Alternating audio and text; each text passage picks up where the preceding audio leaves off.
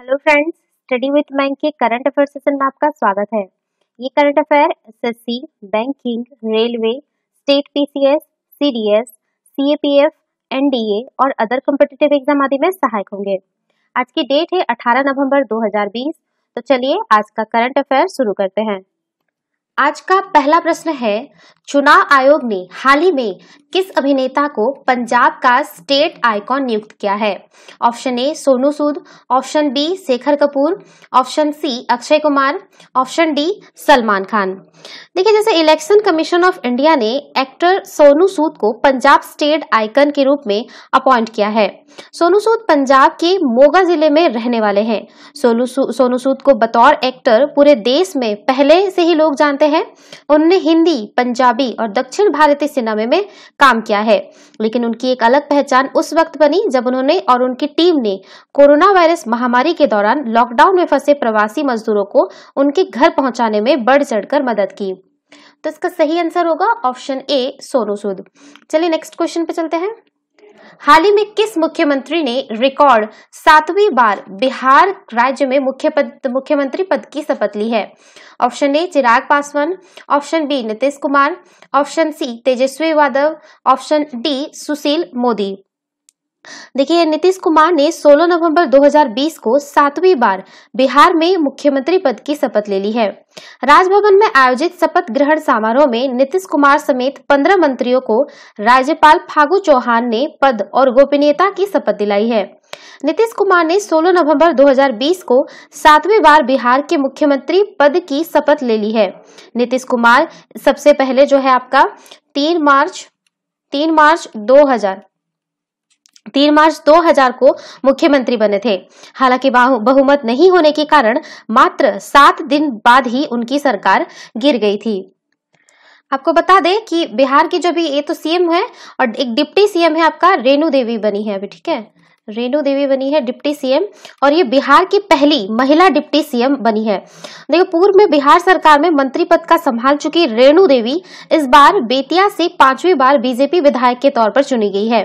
15 नवंबर 2020 को बीजेपी विधानमंडल दल की बैठक में तारकिशोर प्रसाद को नेता और रेणु देवी को उपनेता चुना गया था।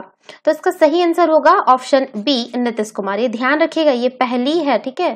पहली डिप्टी सीएम बनी है बिहार की। चलिए नेक्स्ट क्वेश्चन पे चलते हैं।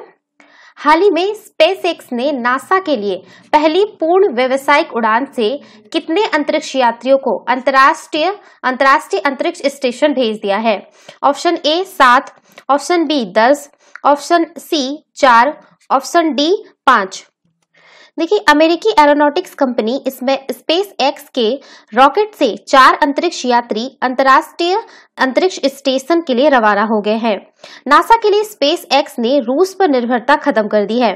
स्पेस एक्स एक निजी कंपनी है और इसके संस्थापक एलन मस्क है।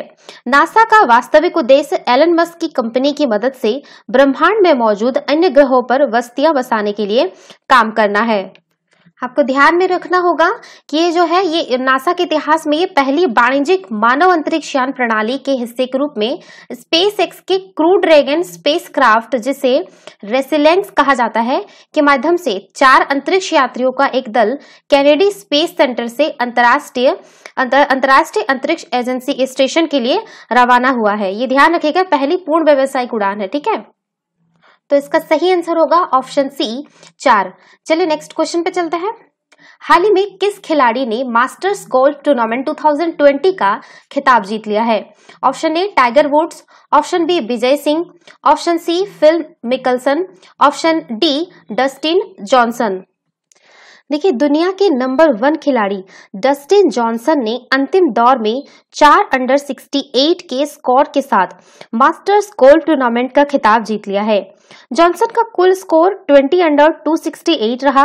उन्होंने जो है साल 1971 में टाइगर वुड्स के बनाए रिकॉर्ड को दो शॉट से तोड़ दिया। जॉर्डन स्पीथ ने भी साल 2015 में इस रिकॉर्ड की बराबरी की थी। डस्टिन जॉनसन ने पाँच शॉट से दी जीत दर्ज की जो 19, 1997 में वुड्स की रिकॉर्ड 12 शॉट से जीत के बाद सबसे बड़ी जीत है। तो इसका सही आंसर होगा ऑप्शन डी डस्टिन जॉनसन चलिए नेक्स्ट क्वेश्चन पे चलते हैं. अंतर्राष्ट्रीय छात्र दिवस निम्न में से किस दिन मनाया जाता है? ऑप्शन ए 17 नवंबर. ऑप्शन बी 10 जनवरी. ऑप्शन सी 12 मार्च. ऑप्शन डी 20 जून. देखिए, जो हर साल है, जो 17 नवंबर को दुनिया भर के छात्र अंतर्राष्ट्रीय छात्र दिवस मनाते हैं। हज़ारों छात्र कार्यक्रमों में पूरे उत्साह के साथ भाग लेते हैं। अंतर्राष्ट्रीय छात्र दिवस का इतिहास जो है, आपका 28 अक्टूबर 1939 की घटना से जुड़ा हुआ है। दुनिया भर की कई यूनिवर्सिटी सांस्कृतिक बहुलता और विविधता के प्रदर्शन के लिए इस मौके का इस्तेमाल करती है। कुछ यूनिवर्सिटी छात्रों के लिए खास गतिविधियों का आयोजन करती है। यूनिवर्सिटियों के अलावा कई छात्र संगठन भी अंतर्राष्ट्रीय छात्र दिवस के अवसर पर कार्यक्रमों का आयोजन करते हैं। तो इसका सही आंसर होगा ऑप्शन ए 10 नवंबर।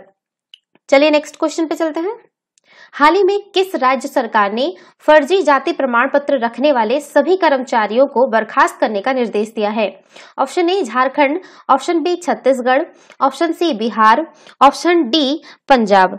देखिए, छत्तीसगढ़ के मुख्यमंत्री भूपेश भूपेश बघेल ने एक बार फिर फर्जी जाति प्रमाण पत्र के आधार पर कार्यरत शासकीय सेवकों को सेवा से बर्खास्त करने का निर्देश दिया है।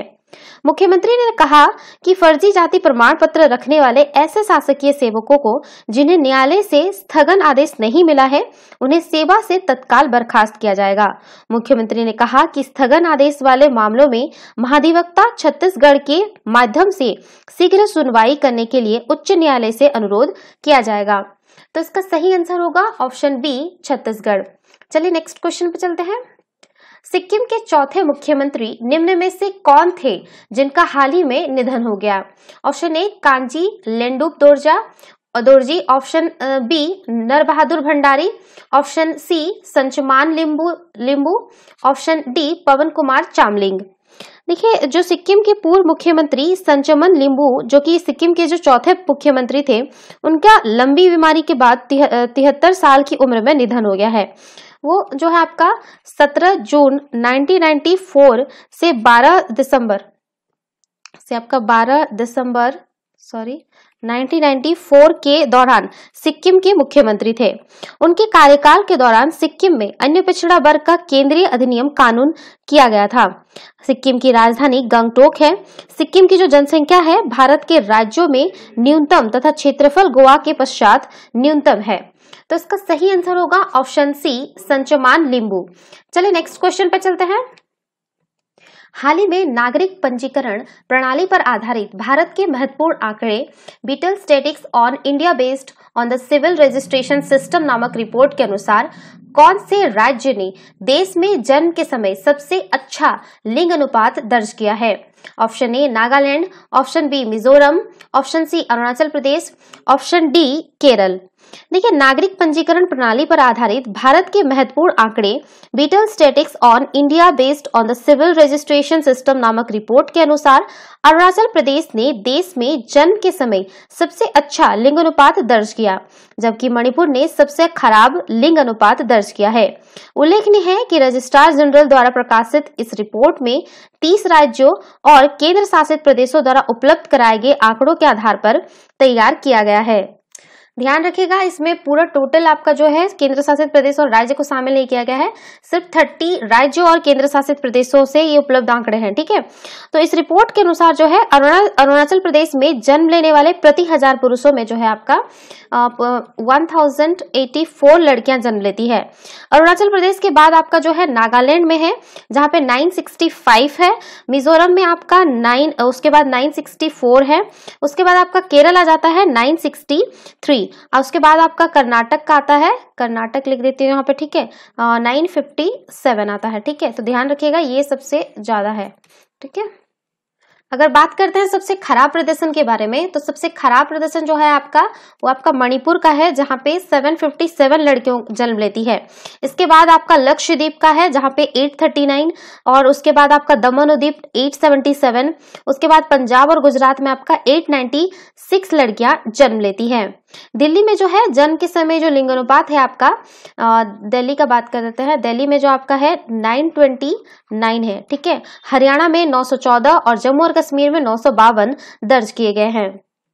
तो इसका सही आंसर होगा ऑप्शन सी, अरुणाचल प्रदेश। चलिए नेक्स्ट क्वेश्चन पे चलते हैं। हाल ही में चीन के नेतृत्व में कितने आसियान देशों और ऑस्ट्रेलिया, चीन, जापान, दक्षिण कोरिया तथा न्यूजीलैंड ने क्षेत्रीय व्यापार, व्यापक आर्थिक साझेदारी यानी आरसीईपी पर हस्ताक्षर कर दिए हैं। ऑप्शन ए, ग्यारह, ऑप्शन बी, दस, ऑप्शन सी, चौदह, ऑप्शन डी, तेरह। देखिए, जो है, हाल ही में चीन के नेतृत्व में 10 आसियान देशों और ऑस्ट्रेलिया, चीन, जापान, दक्षिण कोरिया तथा न्यूजीलैंड ने भारत के बिना ही क्षेत्रीय व्यापक आर्थिक साझेदारी पर हस्ताक्षर कर लिए हैं। भारत के पास भी इसमें शामिल होने का जो अवसर था, लेकिन जो भारत की शर्तों को न मानने के कारण भारत ने इसमें शामिल होने से मना कर दिया था। हालाँकि यदि भारत आरसीईपी में शामिल होना चाहता है तो भारत इसमें शामिल होने के लिए फिर बातचीत शुरू कर सकता है। बात करते हैं आरसीईपी के बारे में। तो आरसीईपी भारत समेत एशिया प्रशांत क्षेत्र में कुल 16 देश का, ठीक है, ध्यान रखिएगा। कुल 16 देशों का, के बीच प्रस्तावित एक मेगा मुक्त व्यापार समझौता है। भारत ने है, आपको पता होगा, जो पिछले साल है, इसमें शामिल होने से इनकार कर दिया था। तो इसमें फ़िलहाल जो है अभी 10 आसियान देश शामिल है। समेत जो आपका 10 आसियान देश और इसमें आपका ऑस्ट्रेलिया, चीन, जापान, दक्षिण कोरिया और न्यूजीलैंड शामिल है। आपको पता होगा कि इसमें टैरिफ कम टैरिफ कम करने के आधार पर जो है आरसीईपी के अनुसार सभी सदस्य देशों को टैरिफ में कमी करना था। क्योंकि आरसीईपी की वार्ता जो है 2013 में शुरू हुई थी, इसलिए टैरिफ कम करने के लिए आधार वर्ष भी 2013 ही रखा गया था। जबकि भारत का जो कहना था कि 2013 के बजाय जो टैरिफ का जो आधार वर्ष है दो हज़ार उन्नीस को उन्नीस को बनाया जाए। लेकिन इनको ये बात नहीं माना गया है। तो कुछ ऐसे शर्त थे भारत के जो आरसीईपी नहीं माने तो इसलिए भारत जो है इसमें अलग हो गया था ठीक है? और सबसे बड़ा मेन रीजन आपको पता होगा चाइना जो है सबसे बड़ा मेन रीजन है क्योंकि अगर ये आपका आरसीपी में साझेदारी हस्ताक्षर करता है भारत तो आपको मुक्त व्यापार चीन को मिल जाएगा भारत में जिससे कि हमारे जो आ, हमारे जो है लोकल बिज़नेस पे अफेक्ट पड़ सकता है। इसीलिए इसको इससे हम अभी जो है इंडिया भी बाहर रहा है ठीक है? तो इसका सही आंसर होगा ऑप्शन बी, दस। चलिए नेक्स्ट क्वेश्चन पे चलते हैं। हाल ही में प्रधानमंत्री मोदी ने वीडियो कॉन्फ्रेंसिंग के ज़रिए जैनाचार्य श्री विजय बल्लभ सुरीश्वर जी महाराज की 115वीं जयंती, एक जयंती के उपलक्ष्य में शांति की प्रतिमा का अनावरण कौन से राज्य में किया?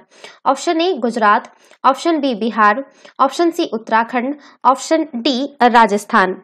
देखिए, हाल ही में जो है आपका प्रधानमंत्री नरेंद्र मोदी ने वीडियो कॉन्फ्रेंसिंग के ज़रिए जैनाचार्य श्री बल्लभ, श्री विजय बल्लभ सुरेश्वर जी महाराज की एक जयंती के उपलक्ष्य पे शांति की प्रतिमा का अनावरण राजस्थान के पाली में किया गया है।